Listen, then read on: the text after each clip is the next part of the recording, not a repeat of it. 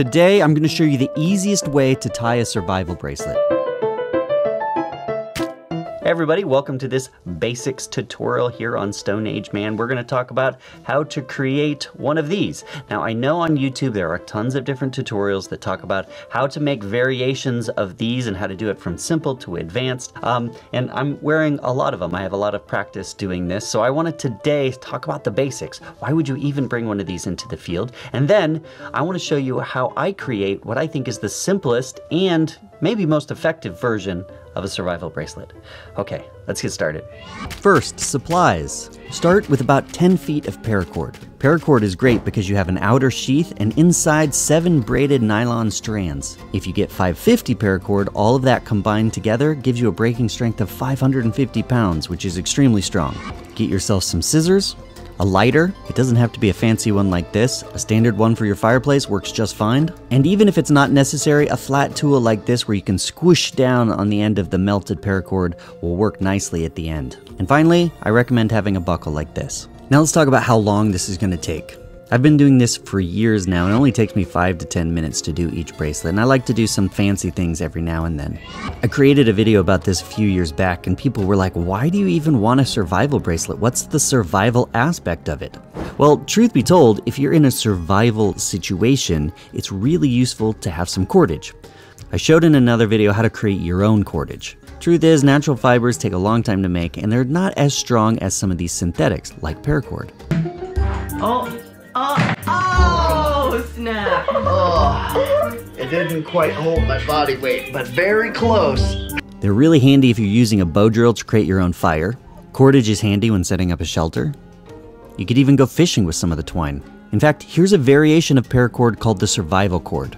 Inside are those seven braided nylon strands. It also has a metal strand, a monofilament line, both used for fishing if you wanted it to, and some jute. Jute is really good for fire starting, you can light it, and it acts a little bit like a wick. I'll leave a link for that in the description below. The technique for this survival bracelet is with a knot known as either the Cobra Stitch, the Solomon Bar, or the Portuguese Sinnet. I think it's the easiest and quickest one to tie, and it also looks pretty good. Obviously, there are other knots you can use, like the snake knot, which is another common one. You can also use many colors or a single color, or you can get incredibly fancy. You can even create one without a buckle like this. It's a little more difficult to tie, so I'm going to show you the most basic version, which in my estimation is when you use a buckle. At this point, you need to go find yourself some paracord. I have my 8 to 10 feet of paracord right here. I also have a buckle, and I'm going to switch into a little bit more of a, a, live presentation. I'm going to put it up here on the overhead and hopefully walk through this at a pace that you can follow along. Okay, let's get started. The first thing you need to do is find the middle of the paracord and you can do that by taking both ends together and then working your way to the middle. Once you have that, get your buckle and we're going to dive the paracord through. Okay, a lot of these will have a curve like this to them, so you want to start by pushing one end through here. There we go. So once you've pushed through a little loop, you actually take that loop and put it through the loose remaining cord. And then you just pull it tight. Okay, so this is going to create one end of our paracord and we're going to start tying down to it. Take the other end and dive it through. So now I have to adjust it to the size of my wrist. So one of the things that you can do is just put it on and then you can pull these cords down. You want to make sure you don't make it too tight. So that's about what would be tight for me. I want to be able to get a couple fingers under it, just like that which actually adds about an inch to it. So if you're measuring, measure your wrist and then add an inch. Now I'm going to take off the buckle. And then at this stage, I'm going to tie the very first cobra knot.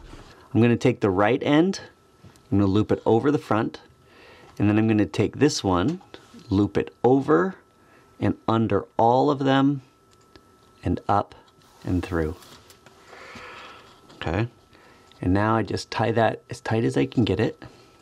This first one's a little bit tricky. You kind of got to make sure you don't lose your place. Pull that really tight. This is your first knot.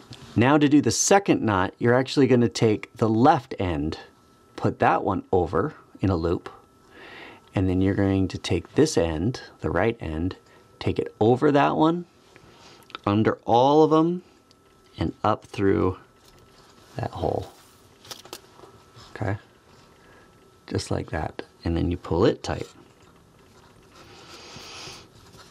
Now what you'll notice is that it's starting to create a alternating loops. So loop on this side, loop on this side. If you ever lose track of which one goes in front, you look at this little vertical section and see it's on this side right now. Then you use this one and you go in front. So it's just alternating, but so right, loop it over, around.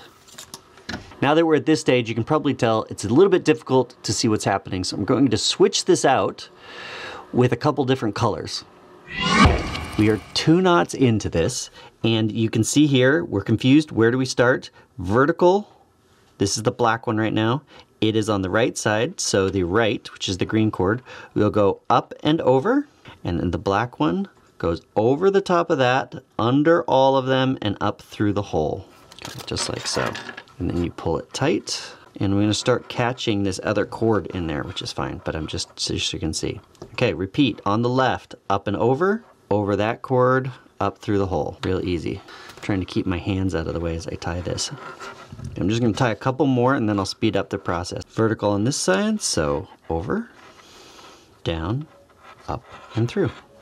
Now what's cool about this is that you'll notice it's starting to create a little bit of a pattern. In this case, the black is creating the sides and then the green is creating the middle. Now using colors like this is beautiful and I like the idea of using colors, although what that does for you is it creates a little bit less cordage when you unravel the whole thing. So it's a it starts to become more for decorative purposes than for actually using the cord.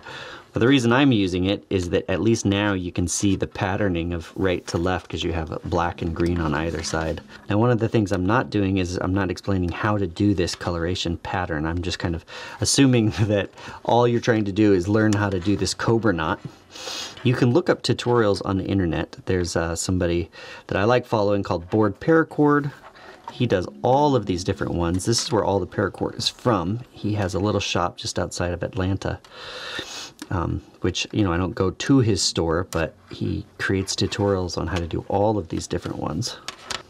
One of the benefits of doing it the way I'm doing here with these different colors is the inner cord here that I have is that survival cord. So it has the metal wire in it, the monofilament line, and the jute. Not that you'll, you know use that all the time, but it's kind of kind of a nice thing to just know that you have on your wrist at all times. The downside is that your rope is not as strong because you've spliced it in a few different places to get these colors. So one of the things I like about these survival bracelets is it's just an easy way to start working with knots. You know that there's some practical application in the future, should you need it. That means you're prepared. And if you're an adult and you're working with kids, this is something kind of fun to do with them. You know, back in the day, this was something we did in Boy Scouts. Now if you're starting into this and you want to get some paracord, you can go on Amazon, you can go to your local hardware store and get paracord. One of the things that you, in theory, are looking for is the 550 paracord. 550 paracord is military grade, which means there's those seven strands of nylon. If it doesn't say 550 paracord, then likely it's more of a crafting type paracord because that and, and that means there's less nylon strands inside so it's a little less thick, but it also sometimes is easier to work with because it's not as thick. Um, but you know, when you're starting out, I suppose it's not that big a deal. You just want to start practicing tying things. But that is one thing that you'll be looking at in the future. As you get into doing stuff in the outdoors, one of the things you'll notice is that paracord is everywhere. People love to use paracord. I, I also like giving them as gifts. Although I don't know if the people getting them quite appreciate it so much, but But if you're a kid and you're making them as presents, everyone will like them. I guarantee that. Now before I get to the end, let me just say, if you have questions about all this, definitely go down to the comments below and ask them. People will answer. It's a great little community we have. Also give this video a, a like, subscribe if you aren't already. We are going through bushcraft basics in the next few months, and this is just kind of one piece to that. This is a little bit of a skills video.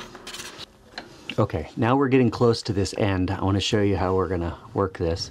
I want to get this as close to the end as I can. So let's tie one more up and over, down and through. And I'm gonna, just to keep this simple. I'm not to show you the advanced ways of hiding the, the knots. Great, no, I think that's probably good. Okay. Now the cool thing with paracord is that when you get to the end, you can actually clip off these extra lines, the extra little bit of paracord, and then you can melt them and smush them in so that they don't unthread. Okay, so watch watch how we do this. Now you only want, um, you know, maybe three, four millimeters, and it's you're not going to be measuring that, but it's good to just eyeball it. So something like that. You don't want too much. That might be actually just a little bit much, but at least it won't slip through right at the end here. Okay, so there we go. Okay, so you can see right here I've snipped off this end and I'm gonna now melt them. This is the best one to use, it's a little bit hotter, but let me just show you with the other one. This is also where this tool comes in handy. I'm gonna show you once with it and then once without it. Okay, so here we go. Melting. You're gonna have to just get a feel for how hot you get it, but I like to see it kind of getting hot and melty. Then you take that, flatten it out just like so. Voila. Smooth. Perfect. Now here's a method without using the flattener. So again, I just kind of keep burning on it until it gets pretty, pretty melty. You don't want to and then I just use the edge of the thing just like that. See? So you can just use the lighter if you need to. Here is the finished bracelet. Let's see if it fits on my wrist. So there's the finished bracelet right here.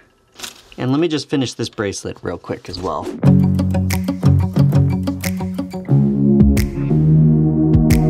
Two of them side by side. You can see kind of how they look. Doesn't that look cool? That looks pretty cool. You can get the new book I wrote on wildlife and bushcraft survival basics, which talks about knots like this, and you can watch some more of our videos on the same topic. So there you go. Now you, in theory, could create your own survival bracelet. I like to do this occasionally on Stone Age Man. It's just skills work. If you've never done a survival bracelet before, it's fun. It kind of feels like an arts and craft thing, and it's kind of meditative. In fact, my keys, I do this with my keys. I quite enjoy having a little bit of a uh, paracord on them and a little carabiner. So there you go. Anyways, stay tuned for more of this stuff coming out on Stone Age Man. Remember to subscribe, hit that like button if you got anything out of it. And um, big thanks to my patrons who are always supporting this stuff. In fact, the reason I'm doing this is for the patrons that I sent paracord to. So thank you, everyone. Okay, we'll see you next video.